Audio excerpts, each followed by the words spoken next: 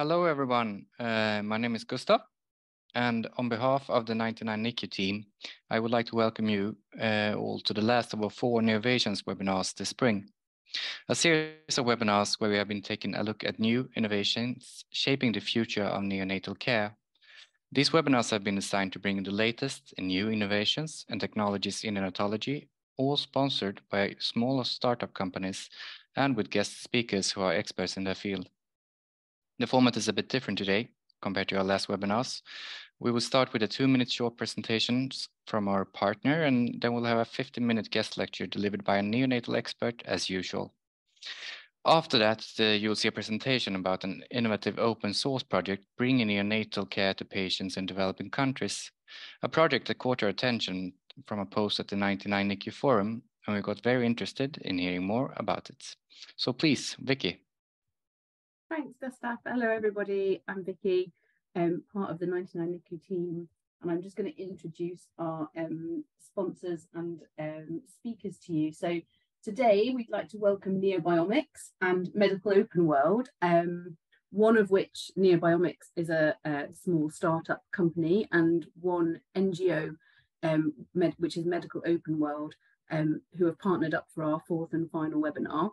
and we are delighted um, to have, um, who some of you might know already, Dr. Stefan Johansson, um, and also um, from Medical Open World, um, Pablo Sanchez Bergasa. I hope I pronounced your name right. So welcome, Pablo, um, as our two guest speakers. So Stefan is a consultant neonatologist at Sachs Children's and Youth Hospital and an associate professor at the Karolinska Institute in Stockholm in Sweden. Um, through his academic affiliation in the clinical epidemiology division, he's got a long experience of working in research projects um, based on large Swedish data sets in national registries. Um, and he's also got a bit of a track record as a social entrepreneur.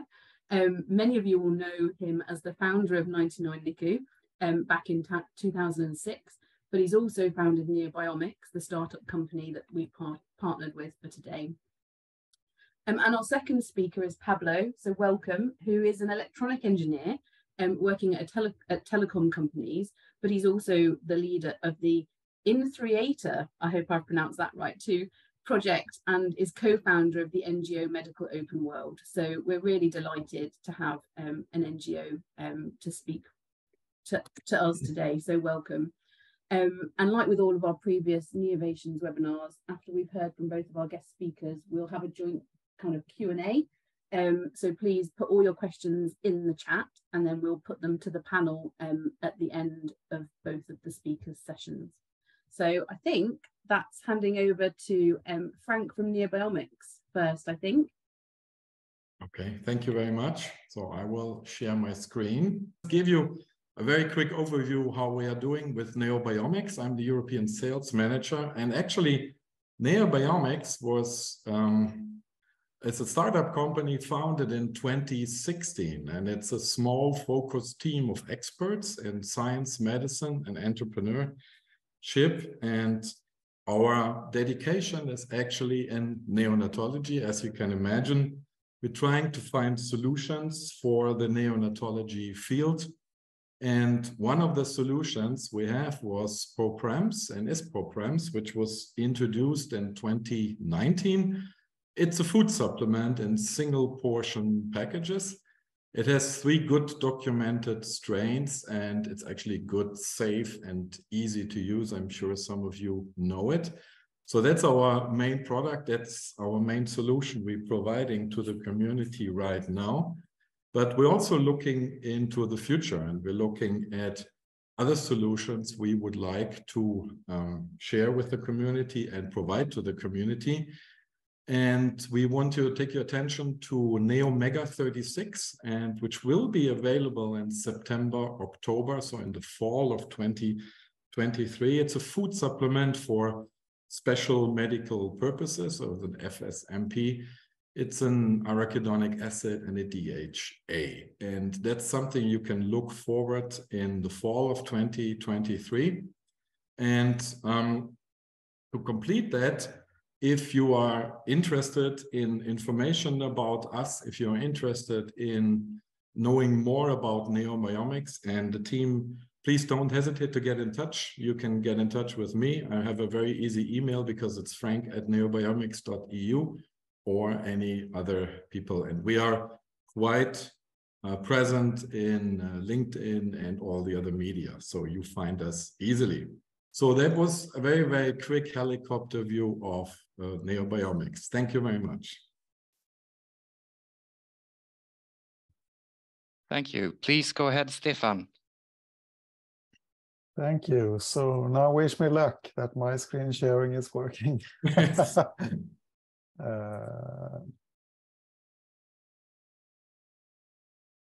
so can you now see the introduction slide?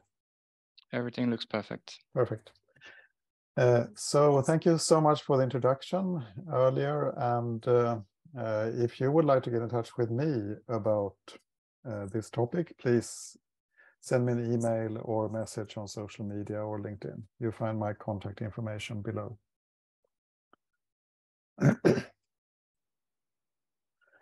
Uh, as already declared, I would also like to declare my conflicts of interest, uh, being the founder of 99 NICU back in 2006. And I'm also the founder and the CEO of Neobiomics, the company that is partnering up with this webinar. Now, let's come to the topic of APGAR scoring, uh, named after the fabulous woman and neonatologist Virginia Apgar, a clinician and researcher who was working at the New York Presbyterian Hospital and later also with uh, March of Dimes. Uh, she published uh, a classical paper back in 1953 where she proposed a scoring system to assess the immediate uh, status of newborn infants, uh, a scoring system that later got her name. Uh, the APGAR score is used uh, globally and in very different contexts throughout the world. uh, however, there are a number of limitations to this scoring system. It is uh, subjective. Two people may score the same sign differently. And uh, one also needs to acknowledge that the APGAR score was never developed to uh, to look into longer term risks. Um,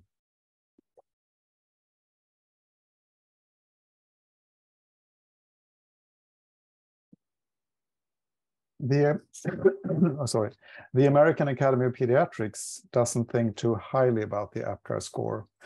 Uh, uh, they made a statement back in 2015 where the AAP writes that we need to recognize its limitations and that the APGAR score doesn't predict individual outcomes.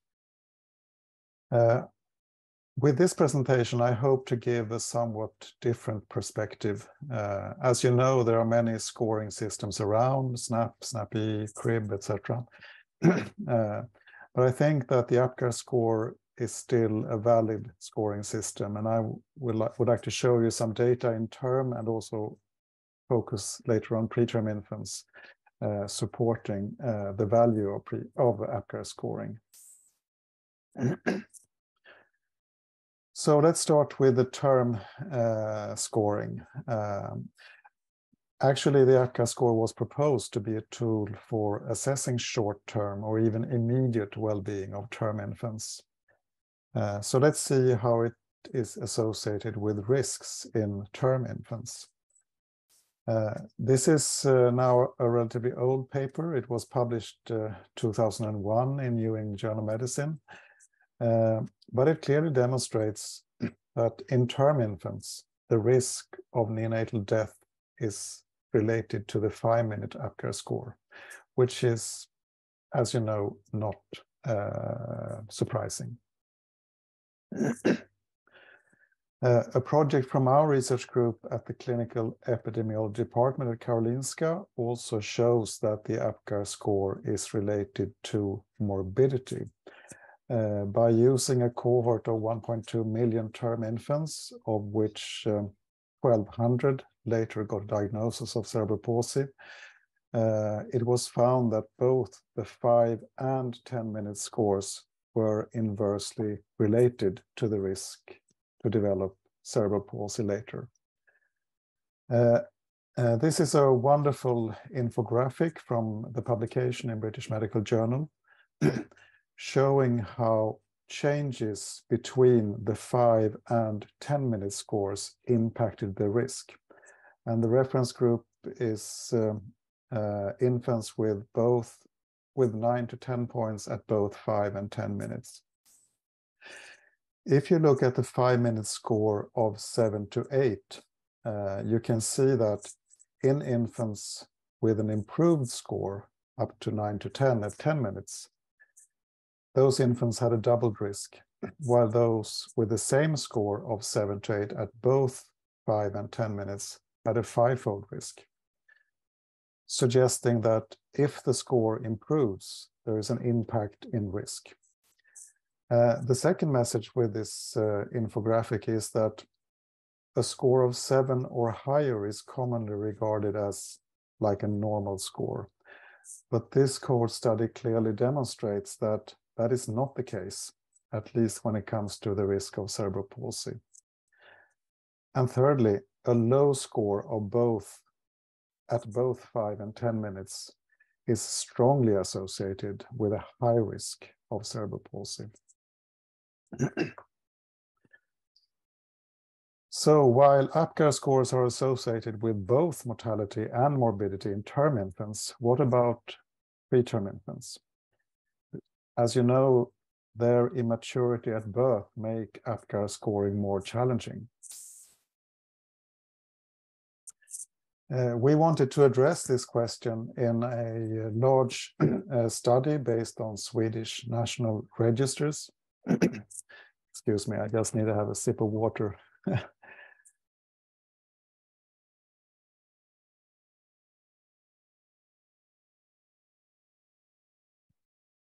Uh, so we wanted to address this question in a large study uh, where we utilized information uh, in the Swedish national registers.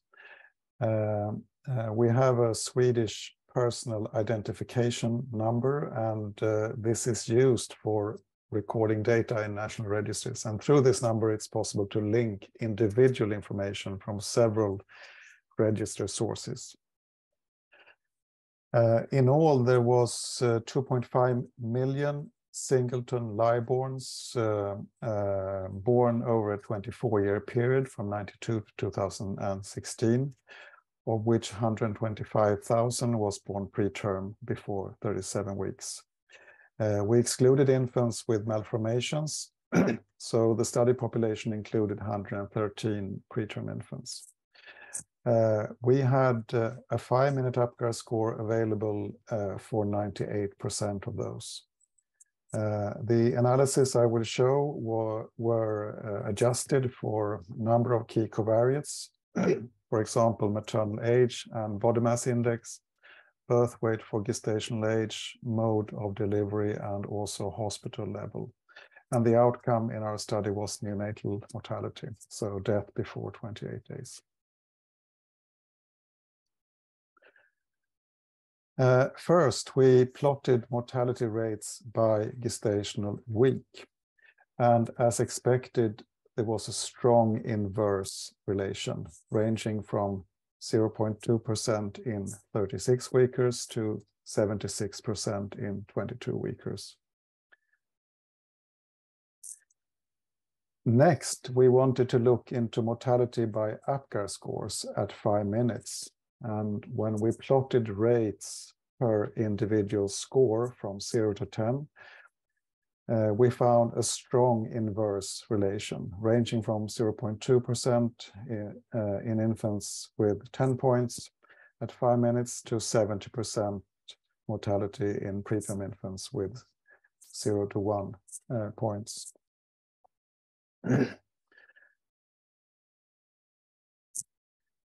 so in the next step, we wanted to, uh, to disentangle the risks when both APGAR score and gestational age was taken into account. And to do this, we stratified the analysis by gestational age. And uh, to, to avoid um, uh, overcrowding by figures, I will only show a subset of the results here. Uh, so to begin with, in the stratum of 22 to 24 weekers, uh, the five-minute APGAR score was clearly inversely related to rates and risks of death.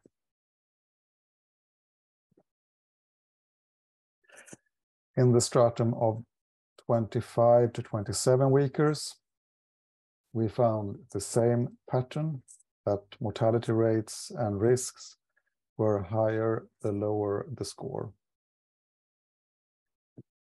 In the very preterm population, born at 28 to 31 weeks, this pattern of inverse relation was even stronger.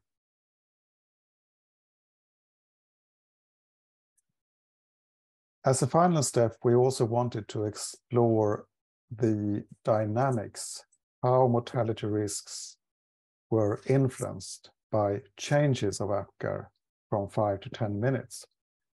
And thanks to the large data set, we were able to do this by performing stratified analysis in which we sliced the data by both gestational age and APGAR score.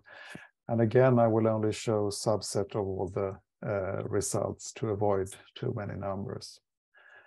Uh, so uh, since we applied two stratifications, we needed to group all extremely preterm infants into one stratum and all very preterm infants in one stratum for the sake of statistical power.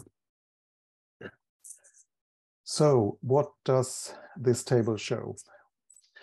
Uh, the upper part shows infants with a five minutes with uh, the upper part shows uh, extremely preterm infants with a five minute score of four to six, and the lower part shows infants with a five minute APGAR score of seven to eight.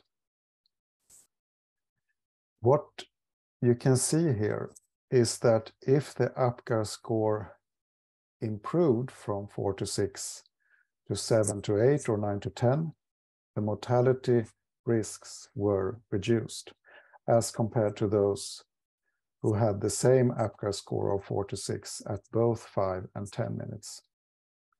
The same uh, pattern was evident for extremely preterm infants with a 5-minute score of 7 to 8. If APGAR score improved to 9 to 10 at 10 minutes, the rates and risks were reduced as compared to those with a, with a stationary APGAR score. In the very preterm population born at 28 to 31 weeks, the pattern was even stronger or more evident. If the APGAR score improved between 5 and 10 minutes, the rates and risks were much reduced.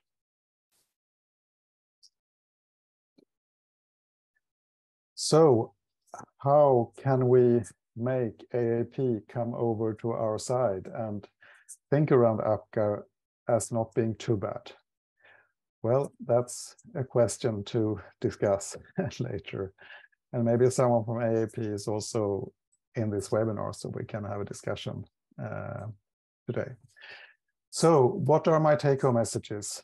Uh, first of all, I want to uh, uh um, conclude that we need to acknowledge that Virginia APGAR had in mind a scoring system about short-term assessments. So she didn't think about long-term risk prediction, especially not in preterm infants. However, in term births, the APGAR score is related to risks of death and cerebral palsy in a dose-dependent manner. and in addition, our study of APGAR scoring of preterm infants shows that there is indeed an inverse relation between APGAR score and mortality across all gestational weeks.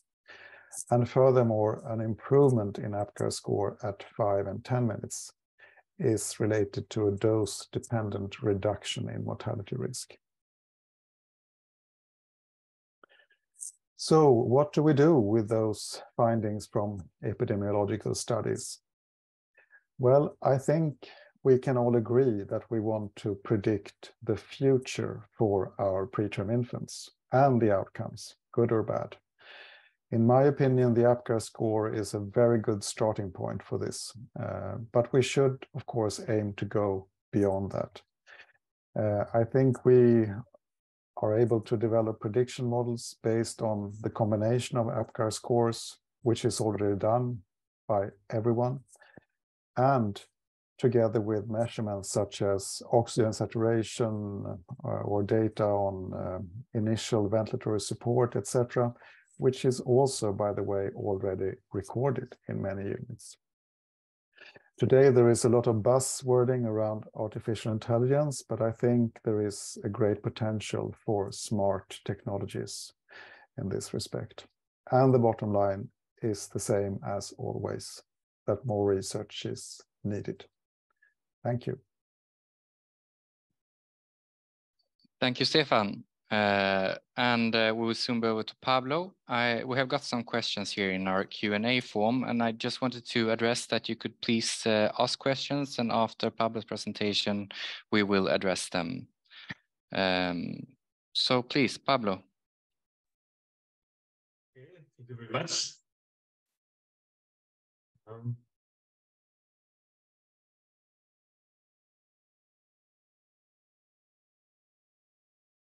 Okay, so can you see my presentation? Is it okay? Yeah, it's good. Okay, so first of all, thank you all for inviting us to share our beloved project. Um, so um, actually, the project is called in3ator. The tree is like a, a exponent, a, like a, it's a little nerd term. Um, so who are we? We are a group of uh, volunteers and enthusiasts that um, we're just uh, engineers, uh, also medical engineers, and uh, also uh, Alejandro and me are the uh, co-directors of, of this project. Actually, Alejandro is the, the founder of, of it, and now he um, this project is about life, and Alejandro uh, invests in life in all its terms, and now he's a father of three. So uh, he contributes in life all he all he can in the every manner he he finds. Uh, so okay, first first of all, um, why um, this is the main focus of the of this project is this map actually, this is the mortality rate uh, of um, prematurity. And uh, you can see that in America and Europe, also in, in, in, Asia, part of Asia, there are very low mortality rates, and in part, thank, uh, thanks for very good neonatologists and people that uh, really uh, makes a huge effort. Uh, I'm, I'm sure that uh, partially these rates are thanks for people like you. Um, but there are also other countries that um, don't have all the um, infrastructure to treat all the uh, infants uh, that are born.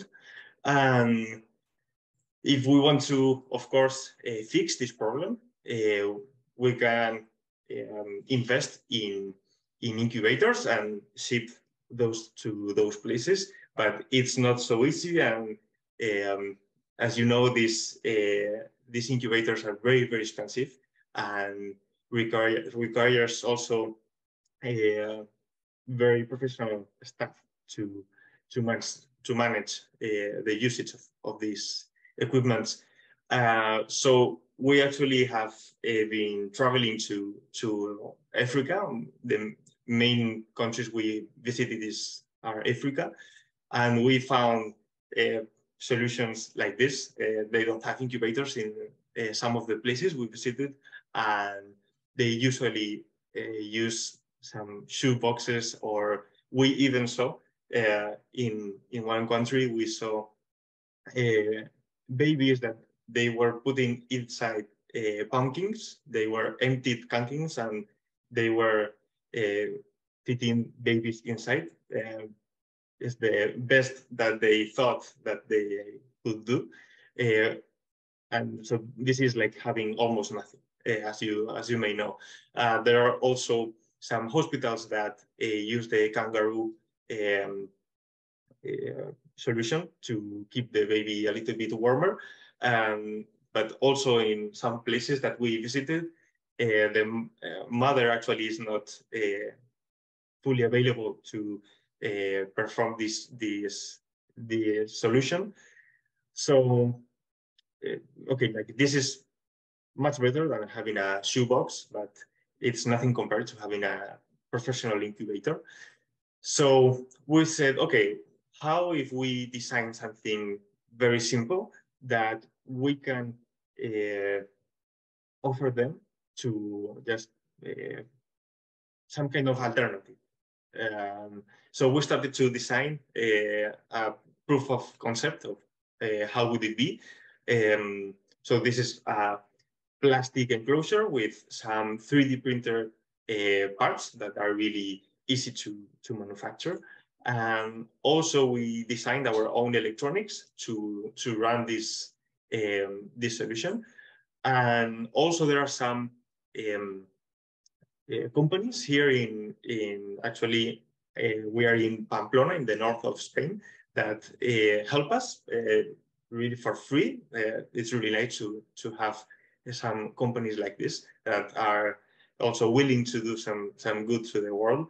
And there are also some uh, schools that uh, manufacture this incubator for us, uh, some kind of um, practice for, for them. And they are, they are also volunteers in their spare time. And we, uh, we are um, doing, uh, we, the solution that we have controls uh, temperature by controlling the air temperature and also controlling the skin temperature of the of the newborn. And also we implemented a phototherapy solution, uh, which is uh, very cheap for, for us to, to do um, uh, to include it in the in the design. And um, there's actually also another NGO that is helping us with the, all the logistics to ship all this uh, equipment to, to Africa. And actually, we work in this project uh, for free. And also we are um, very, uh, we have in mind that um, there are lives at risk. So also we have put a lot of effort of achieving um, uh, compliance in the IEC 6, uh, 60601 to assure that uh, we're always uh, helping the baby to survive. And we have not actually um, do the laboratory the lab laboratory um, testing, but we tested it ourselves uh, in in our facilities. And so, okay, uh, we have something that is uh, an alternative of uh, these two uh, practices that that are common in in Africa, for example. Um, but okay, how how close is to a professional incubator? So we're going to I'm going to share with you uh, one of the uh, incubators that we sent. Uh, this is Ebome Hospital in Cameroon, and it's very, very beautiful. It's uh, close to the to the sea, and for example, in this hospital, you can see that uh, annually there are more or less uh, 80 children that uh, needs an incubator. Okay, um, so before we send them incubators, this is how um, they manage to uh, help uh, newborns just with a heat source near the baby. And as you may know, um, the most important thing is to uh, achieve a neutral point. So the all the energy that the baby uh, has uh, will be to grow. Um, so we sent these incubators uh, in just in uh, regular luggage. The it can be fitted in in in the luggage of someone that goes there, and there you go. Then Uh, they have uh, two of these incubators uh, there, and one of the most important things is that statistically, 70% of the medical equipment that is sent to Africa, 70% doesn't work. Maybe because it is damaged in the shipment, maybe because they don't know how to use it.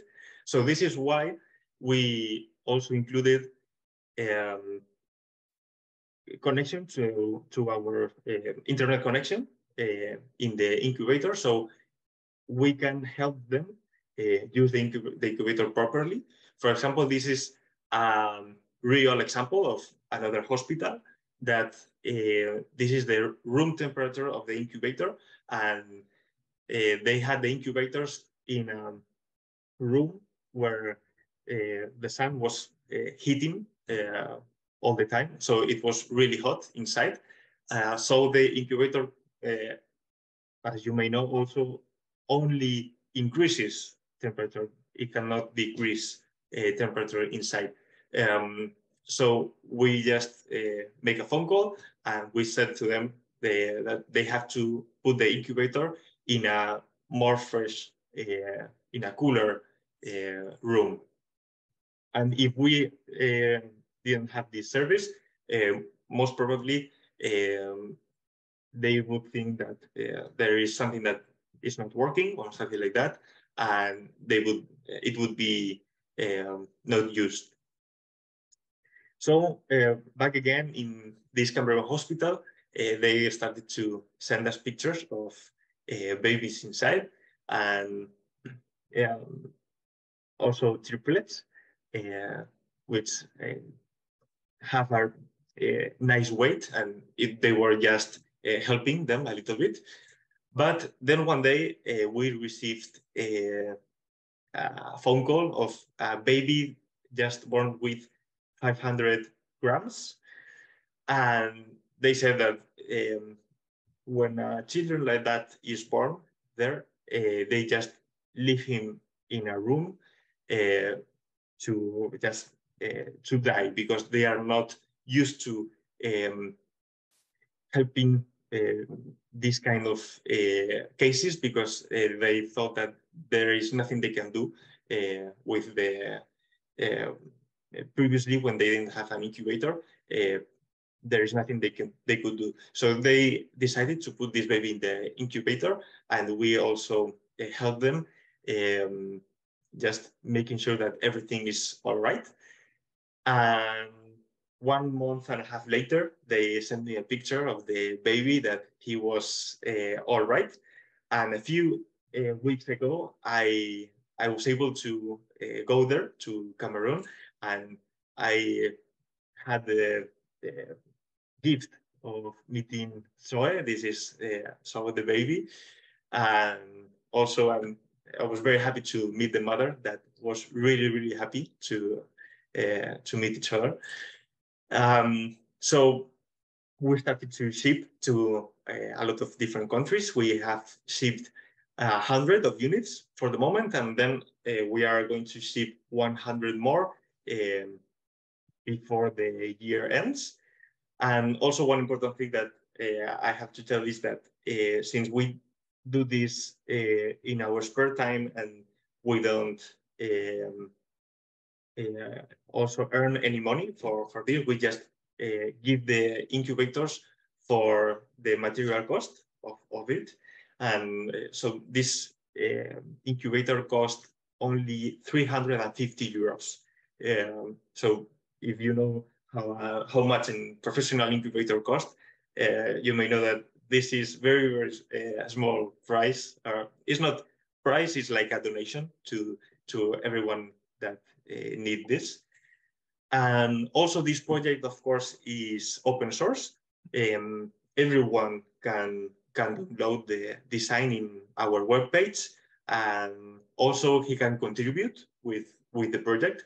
There are a lot of things that um, we are uh, thinking to add to this incubator uh, or to adapt to other uh, necessities. Such as, for example, we are working right now in a pulse oximeter embedded in the own uh, incubator. So we can uh, see the oxygen saturation of the baby and also the, the pulse. And so also we can help them with that, uh, with, with those telemetries from here.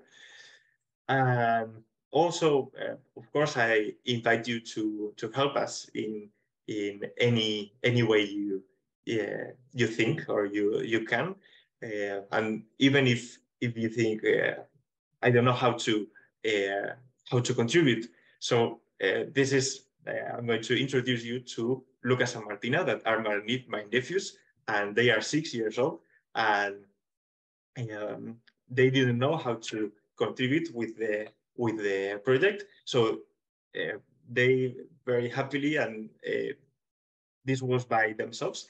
Uh, they told her uh, their colleagues uh, in their school about the project, and they were really happy to to talk about it in, in the school. So I also invite you to, to let this project uh, uh, share, to share this project to everyone that uh, may need it, or just to tell them about um, the effort we do of uh, some of the people here in, in, in Spain.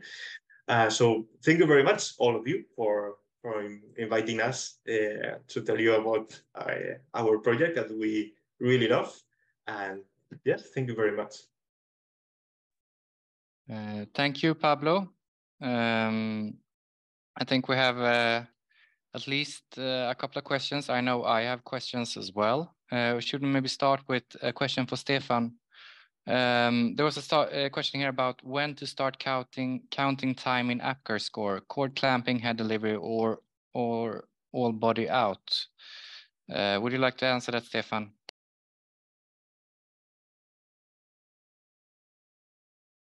Sorry, there is no sound, Stefan.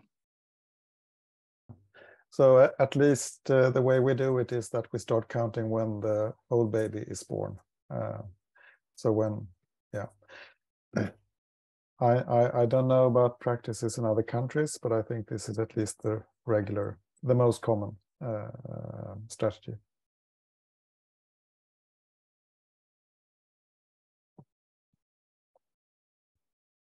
Oh, you're on mute. Ah, you were muted, Gustav.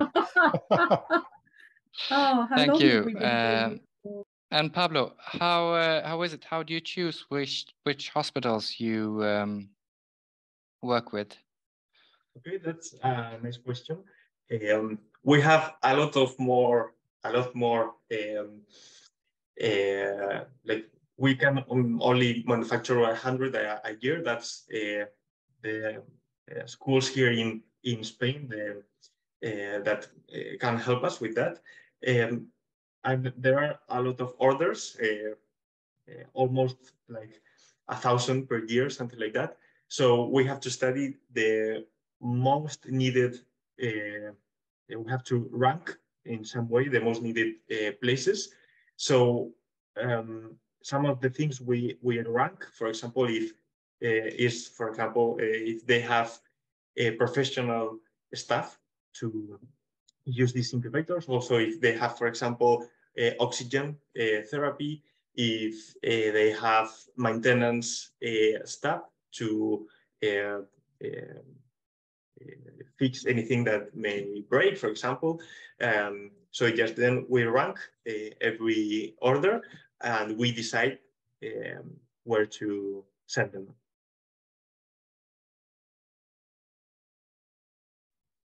there is um, absolutely just loads of um, praise, I guess, for your work, Pablo, in the chat. Just lots of people going, "Keep for babies, that's a cool idea. and that it's brilliant and it's fantastic work. Um, and, you know, just huge kind of congratulations to you and your team, I guess. And I think um, well there's a so there's mm, there's a few things so i think first of all stefan has got quite a lot of questions for you pablo and then um and then we'll come back to the q&a because there's a, a question for stefan in there but stefan why don't you start with your questions and then Yeah. we'll get to the participant question. No, uh, first of all, I just want to congratulate you. A fantastic project. This is exactly what uh, we have been trying to do with 99 NICU from the beginning, to do something for the greater good and without thinking too much about all the implications around it. But I was thinking, have you been thinking around um, uh, engaging with um, a party like Bill Gates Foundation or WHO or some other partner that would be able to scale up? Uh, because I, I fully agree that skin to skin care is so important in especially the developing context, but there's clearly a role for this kind of simple DIY devices and so on. Yes. Um, so we are now very focused on learning uh, in the field uh, because uh, something that we didn't think of is how different we are. uh, for example, in my case, uh, Europe and Africa, the culture, how different it is. So we are focusing a lot on uh, helping them using incubators. We found that a lot of places, even though they had um, professional staff, um, sometimes they don't have like the, the just simple things to to use uh, the incubators. So we are learning a lot and we are changing a lot of uh, things to um, make the um, a device that is perfect for for them. And one of the things is is this um, internet connection that uh, is really helping them. And of course, we are uh, we also uh, thought about scaling up the project.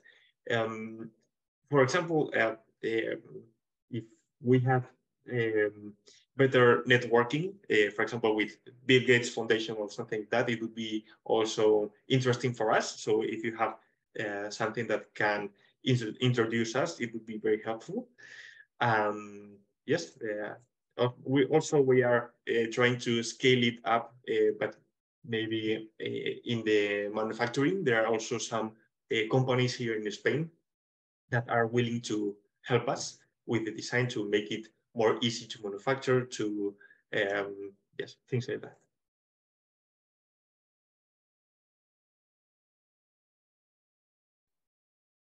Um, following on maybe from that, um, uh, there is a question about um, whether or not you've considered to use solar energy in your next version of your genius but simple incubator. So yeah, any thoughts about solar energy?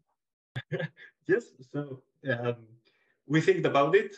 Um, we one of the also one of the benefits of this incubator is that it consumes very little power, um, only like 100 watts, something like that, uh, is the the average consumption.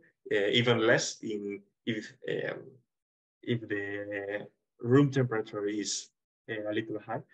So, for example, with just a solar panel, we can um, we can supply like two or three incubators, so it's uh, really easy. But the um, uh, main, and actually that's, uh, I work, uh, this is like my free time uh, project, but I work on a company uh, called IED here in the northern part of Spain.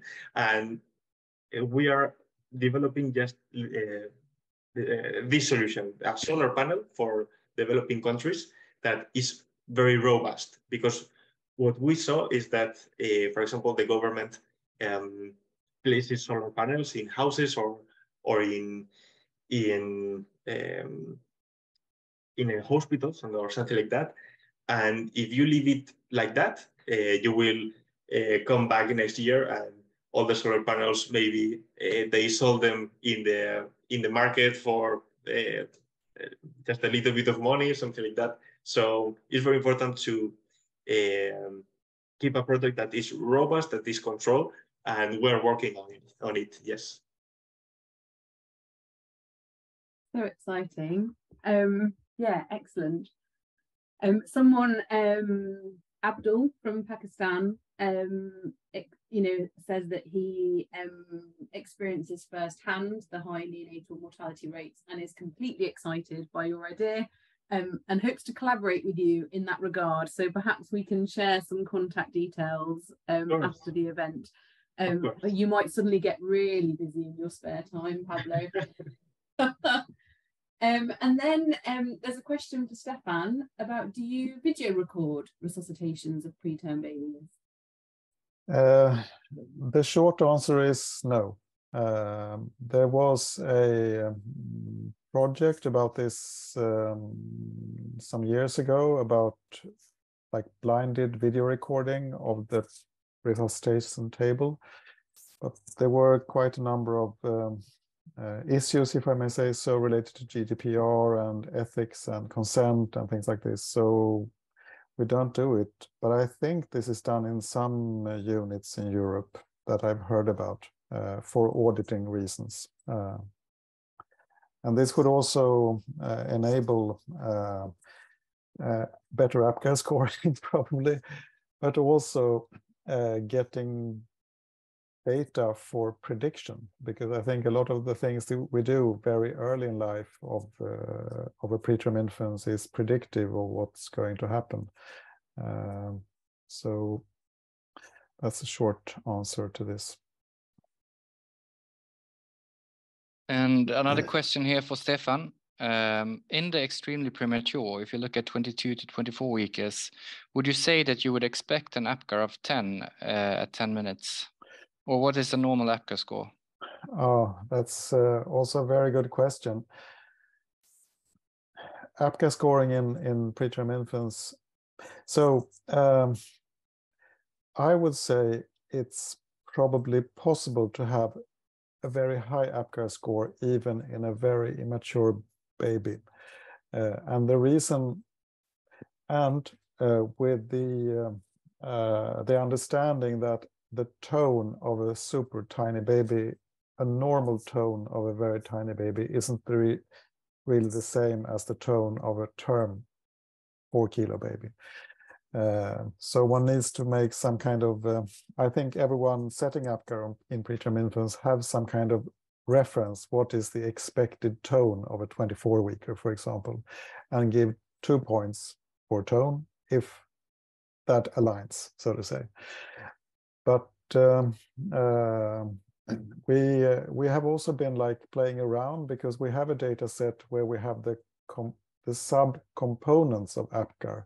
So what is the APGAR of tone, uh, heart rate, respiration, and so on. And it seems that, uh, at least in term infants, we were only able to do this in term infants, and it seems that respiration and the heart rate and the color seems to be the most important uh, subcomponents of the APGAR score. But um, uh, yeah, that was a slight deviation from the original question. I realize this now, but uh, uh, I think it's possible uh, to have a representative uh, or a generalizable APGAR score despite all, despite all the limitations around inter-user variability and so on. Uh, that's and maybe it's more important to see the trend over the course of time from one to five to 10 minutes rather than the single digit, uh, so to say, or the single number. Uh, yeah, I thought that was really interesting, actually, the data about the change, the infographic data. Um, I thought that was really interesting. Um, if anyone has got any more questions um, for either Pablo or Stefan, please do put them. Oh, there's another one just appeared in my chat. That's excellent. Um, so another APGAR scoring um, question is, um, which sort of links to what I was going to ask you actually, Stefan, is, is the predictive value of APGAR scoring in preterm babies mm. better if you combine it with cord pH? And I think I was going to ask if there are, you know, we say more research is needed, like really yeah. blase, don't we? And actually, you know, yeah. can we be more specific? You know, are there components that you think could be added to the APGAR score of preterm infants to make it uh, better? Maybe.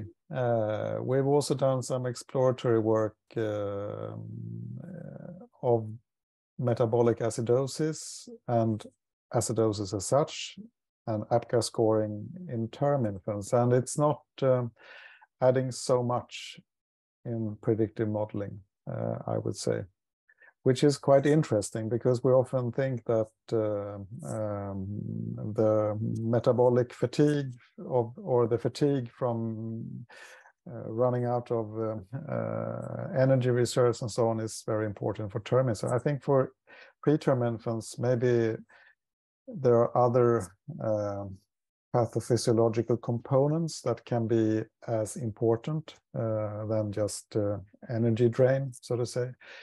But um, uh, it remains to be determined. Uh, I would, I mean, if we would think around the future of prediction and scoring, I think uh, maybe there are other uh, factors that come slightly later than the immediate birth moment. For example, uh, uh the need of uh, mechanical ventilation or uh, development of RDS, yes, no, or surfactant, yes, no, or maybe some inflammatory markers.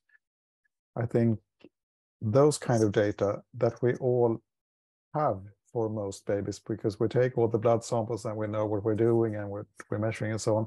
I think those kind of data analysis should be put into some machine learning thing and help us make better predictions.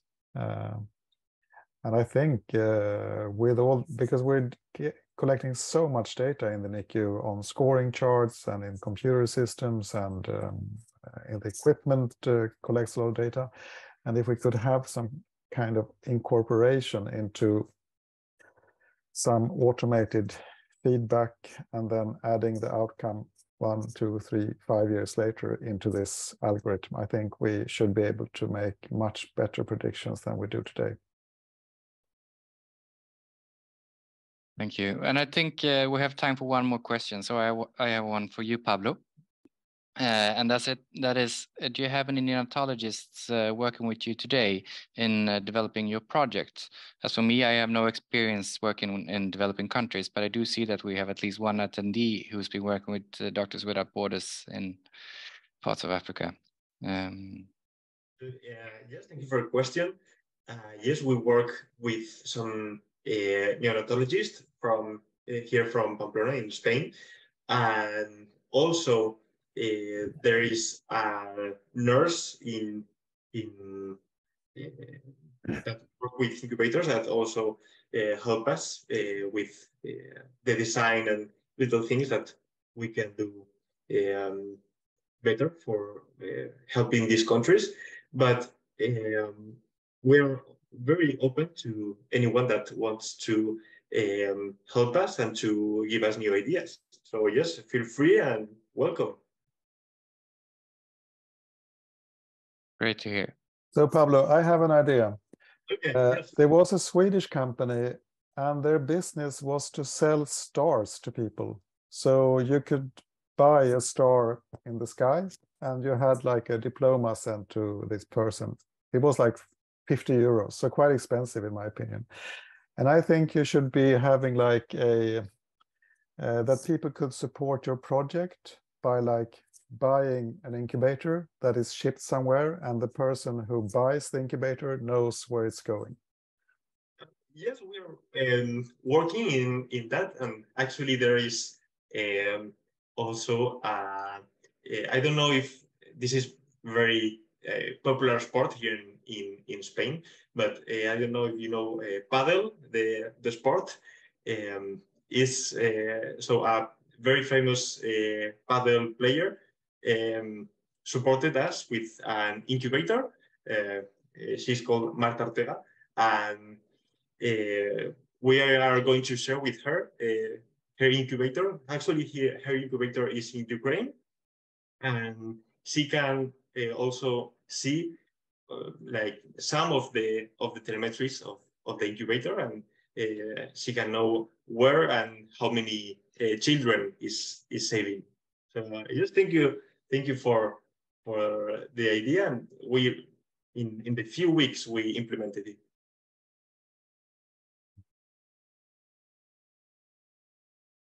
That's it's just so inspiring. how and how a telecoms engineer has ended up in the neonatal world, but it's a conversation for another time.